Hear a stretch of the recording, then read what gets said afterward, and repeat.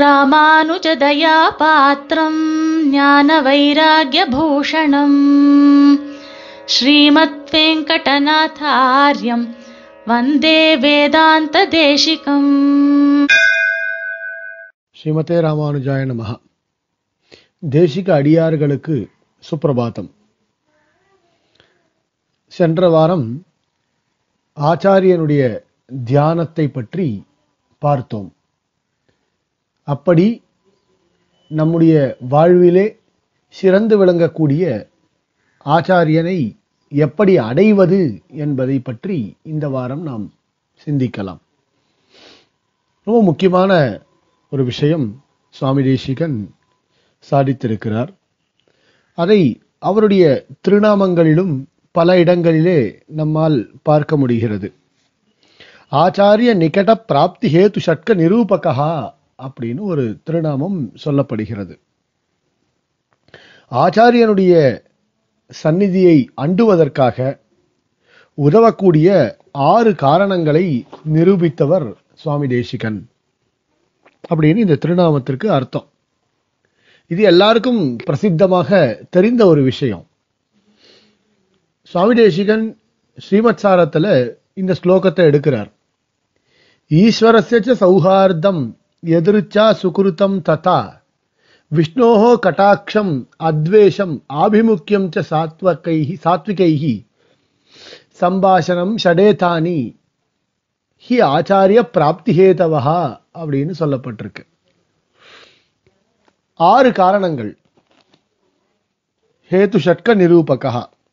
இந்த ஆறு காரணங்களால தான் நாம் ஆச்சாரியனை அடைய முடியும் அப்படின்னு சொல்லப்படுறது. இந்த சம்சார சாகரத்துல எத்தனையோ கோடி பேர் இருக்கா. எத்தனையோ கோடி ஜீவர்கள் இருந்தாலும் சிலருக்கு மட்டும்தான் ஆச்சாரியனை அடைவதற்கு ஒரு சந்தர்ப்பமானது வாய்கிறது. ஏன்னா எல்லாருக்கும் அந்த ஆச்சாரியனை அடைவதற்கு சந்தர்ப்பம் அமையல. ஒரு சில புண்ணிய ஆத்மாக்களுக்கு மட்டும்தான் ஆச்சாரியனுடைய கட்டாட்சமானது பரிபூர்ணமா கிடைக்கிறது. அதனால் அவர்கள் நற்கதியை அடைகிறார்கள். அதை நாம் கண்கூட பார்த்துட்டுருக்கோம் சாஸ்திரங்கள் மூலமாகவும் அதை தெரிஞ்சுக்கிறோம். எப்படி எப்படி அவர்கள் இருந்தார்கள். அவ அதன் மூலமாக அவர்கள் சென்றார்கள்னு பெரியோர்களுடைய உரைகள் மூலமாகவும் நாம் அதை தெரிஞ்சுக்கிறோம். அப்படி ஆச்சாரிய சம்பந்தம் கிடைப்பதற்கு காரணங்கள் ஆறு இருக்கு அப்படின்னு நிரூபிக்கப்படுறது. ஈஸ்வர ஈஸ்வரசச்ச சௌஹார்தம். ஈஸ்வரனுடைய நல்ல எண்ணம். எம்பெருமான் எப்பவுமே ஜீவர்களுடைய க்ஷேமத்தை மட்டுமே விரும்புபவனாக இருக்கான். தற்செயலாக ஏதோ ஒரு காரியங்கள் நாம் பண்ணிட்டு இருக்கோம் அப்படின்னால் அதையும் புண்ணியமாக மாற்றி அவர்களை நல்வழிப்படுத்த எண்ணுகிறான் ஈஸ்வரன் அப்படின்றதையும் நாம் பார்த்துட்டு தான் இருக்கோம் எம்பெருமான் விஷயத்தில். ஏஷேவ சாது கர்ம காரயதி தம் யமேபியோ லோகேபியோ உன்னிநீஷதி ஏஷேவ அசாது கர்ம காரயதி தம் அதோ நிநீஷதி அப்படின்ற கௌஷீதிகை உபனிஷத் வாக்கியங்கள் மூலமாகலாம் இதையெல்லாம் நாம் ஸ்பஷ்டமாக தெரிஞ்சுக்கிறோம். இன்னொன்று சர்வசிய சரணம் சுகிருத்து அப்படின்னு இருக்குது வாக்கியம். சுகிருதம் சர்வபூதானாம் அப்படின்னு இருக்குது இப்படி சகஜ சௌஹார்தத்தின் மூலமாக எம்பெருமான் நம்மை திருத்தி பணிகொள்கிறான் அப்படின்றது நமக்கு சாஸ்திரத்தின் வாயிலாக தெரிகிறது. அப்போ முதல் காரணம் ஈஸ்வர செச்சு சௌஹார்தம்.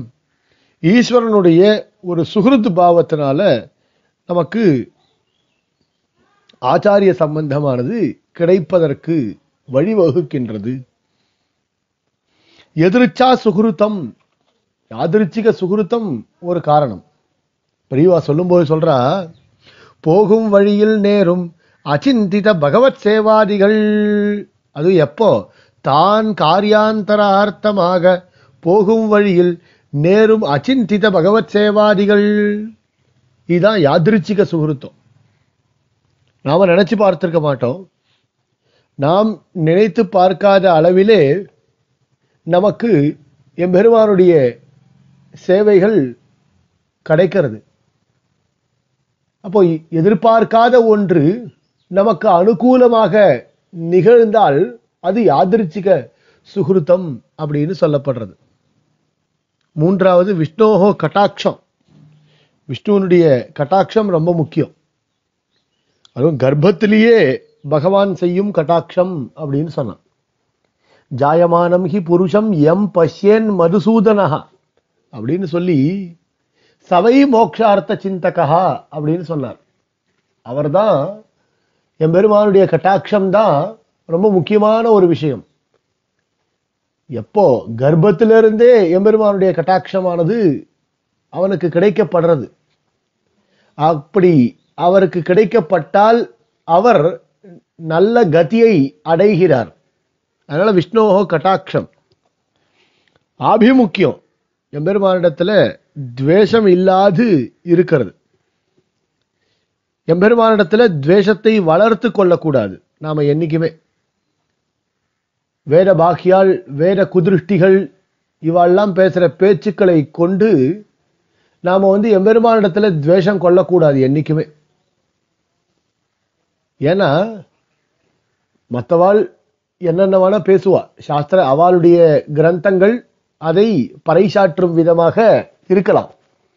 ஆனா நம்ம பெரியவாள் சுவாமி வேதாந்த தேசிகருடைய சம்பிரதாயத்திலே தோன்றின நம்முடைய மகான்கள் அவதரித்தவர்கள் தேசிக சம்பிரதாயத்தில் அவதரித்த மகான்கள் எந்தெந்த விஷயங்களை சாதித்திருக்கிறார்களோ சித்தாந்தத்துக்கு விரோதம் இல்லாமல் எந்தெந்த விஷயங்களை சாதித்திருக்கிறார்களோ அதை மட்டுமே நாம் தெரிந்து கொள்ள முயற்சி செய்யணும்.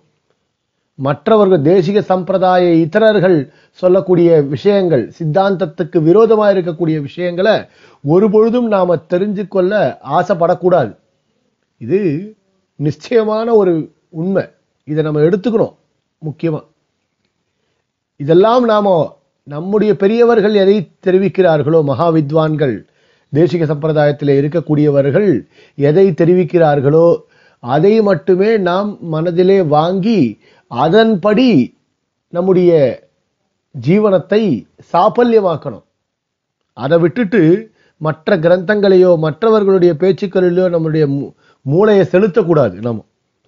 அப்படி பண்ணால் எம்பெருமானிடத்தில் துவேஷம் உண்டாவதற்கு வாய்ப்புகள் இருக்கு. அதனால எப்பவுமே நம்ம எம்பெருமானிடத்தில் துவேஷம் கொள்ளவே கூடாது. அதே மாதிரி அத்வேஷம் ஆபிமுக்கியம். ஆபிமுக்கியம்னா எம்பெருமானை அலட்சியம் பண்ணாமல் இருக்கிறது. எம்பெருமானை அலட்சியம் பண்ணக்கூடாது என்றைக்குமே அலட்சியம் செய்யாமல் அவனையே விரும்பணும். எம்பெருமான் திருவடிகளை எப்படி அடைவது? நம்முடைய சிந்தனை ஒண்ணுதான் இருக்கணும். எம்பெருமான் திருவடிகளை பற்றி கொண்டு எம்பெருமானுக்கு நித்தியமான கைங்கரியங்களை பண்ணுவது அப்படின்றது மட்டும்தான் நம்முடைய சிந்தனையாக இருக்கணும். அந்த எம்பெருவான் திருவடிகளை பற்றி கொள்ள முக்கிய காரணமாக இருக்கக்கூடியது எது அப்படின்னால் ஆச்சாரியனுடைய பிராப்தி ஆச்சாரியனுடைய தியானம். இதெல்லாம் சொல்லப்பட்டிருக்கு. அபிமுக்கியஞ்ச சாத்விகைகி சாத்விகைகி சாத்விகர்களா இருக்கக்கூடிய மகான்களோட நாம சம்பாஷணம் பண்றது. அப்படின்னா நல்லோர் உறவு. தமிழில் ஒரு அழகா ஒரு வார்த்தை சொல்லுவா. நல்லோர் சொல் கேட்க வேண்டும். இல்லையா? அப்போ நல்லோர்களோட நல்லோர்களோட ஒரு உறவு இருந்தால் மட்டும்தான் நமக்கு வந்து ஆச்சாரிய பிராப்தியானது கிடைக்கும். சுவாமி தேசிகனே சாதிக்கிறாரு. பிரத்யக்ஷமேதத் பவதாபி திருஷ்டம் சம்சர்கஜாக தோஷகுணாக பவந்தி அப்படின்னே சொல்றார். இதுக்கு முன்னாடியே உபோத்காத அதிகாரத்திலே சொல்றார். மாதாப்பியேகா பிதாப்பியேகா மமதஸ்ய ச